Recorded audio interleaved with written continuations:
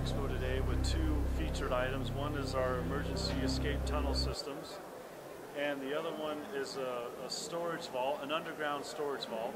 Everything we do is underground. And so what we have here, this is our emergency uh, escape tunnel system, and something like this can connect to your uh, basement, a foundation wall, and you could have it as a quick escape going out of your house whatever reason, if your house is compromised for whatever reason. You can escape, you could go into an underground shelter, or it could just be a place to get out, to go up to um, a vehicle that's parked, you know, somewhere else where you could go to that and, escape, get away from your house, or like a safe room type thing where you could go into it, um, call the police or call for help. That's what this box is here.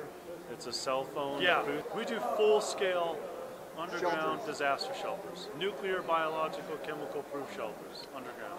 That's what we do. Come in here. Let's What's- go in here. Let me go inside here. Wow. So this is our, our underground storage vault, and what you see here, this can hold about five years worth of food for one person.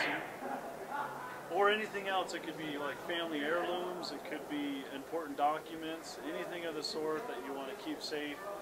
Um, if you're in forest fire prone areas or uh, high crime areas, you, know, you have valuables that you want to keep, you want to store. Uh, if you travel a lot, you know, uh, you could put your stuff in here and not worry about break-ins. And what is the access? Uh, the access is a hatch through the top here.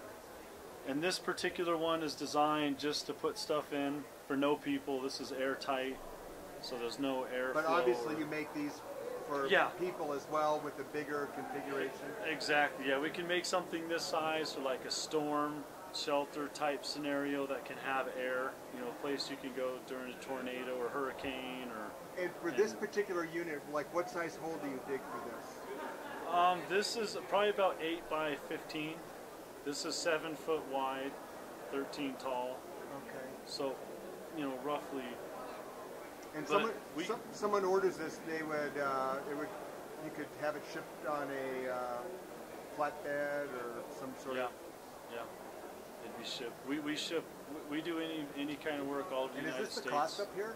and Canada. That can be. Can be Yeah. That different sizes. sizes.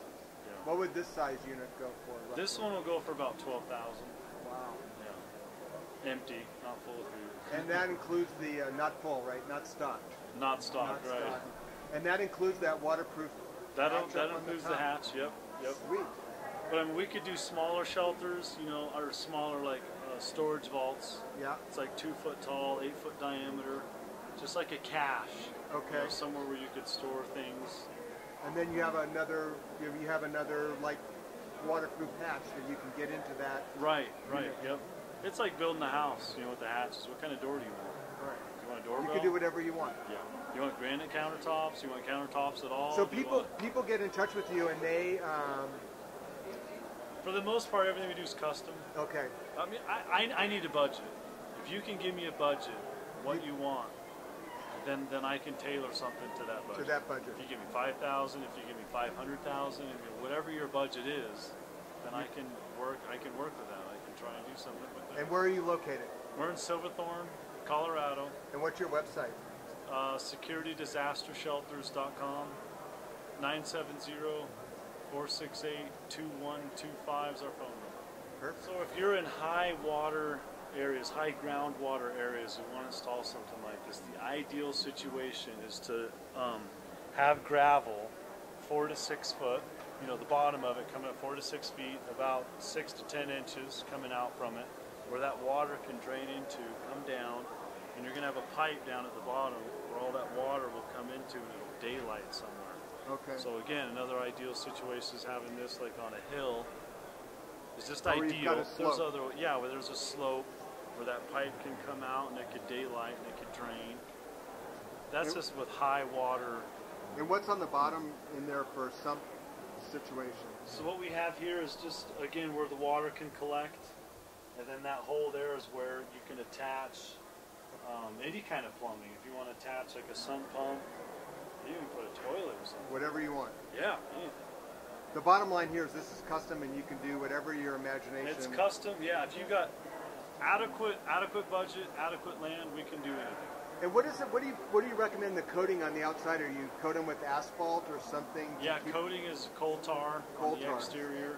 On the interior is a two-part epoxy paint, Okay. and um, that that'll last it. Nice. That'll give you almost And you've got really adequate shelving in there. yeah, lots of space. Like I said, this is at least five years. What you see right here, this is about five, uh, three years worth of food for one person, and I'm not even full. You haven't even touched the shelving. No, and, and everything's still in the boxes. Right. So you take all the cans outside of the boxes, You got more space. and you got a lot more space. Yeah. So five years is being pretty, pretty conservative. Yeah. This is for a wireless antenna, again for a cell phone. If you needed to come down here, if- if you had like a safe room type situation, a place you needed to run to to be safe for a period of time, you needed to um, use your cell phone to call the police, call your loved ones, call your husband, call your wife, call your kids, whatever.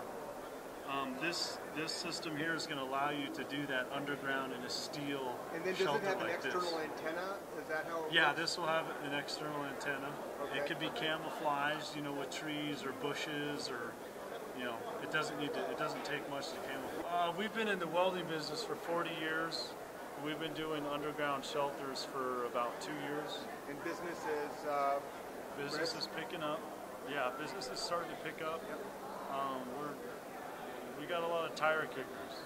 So if you're serious and you're ready to, to prepare, if you're ready to increase your This is family's, critical. if you're if you're ready to increase your family's survivability, call me, Riley Cook, Security Disaster Shelters,